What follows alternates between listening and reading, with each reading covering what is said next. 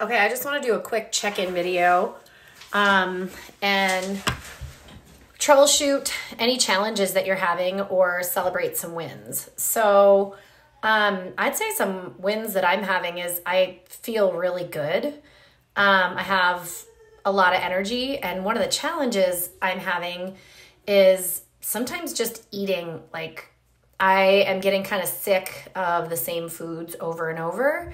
So I need to spend a little bit of time in the grocery store tomorrow and doing some food prep because um, I have to go to Billings on Saturday and I need to be prepared. Otherwise, I'm going to be eating more chickpeas. I feel like I've eaten so many chickpeas in the last week and a half.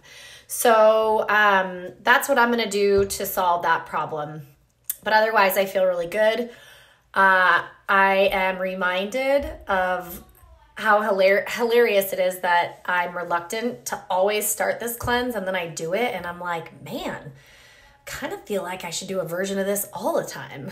so I'm really trying hard to bring some takeaways with me so that I really just eat cleaner all the time. And I I eat clean enough, but like really being mindful around it I think is different. Um during this cleanse time, and at least for me. So uh, I've been really enjoying that.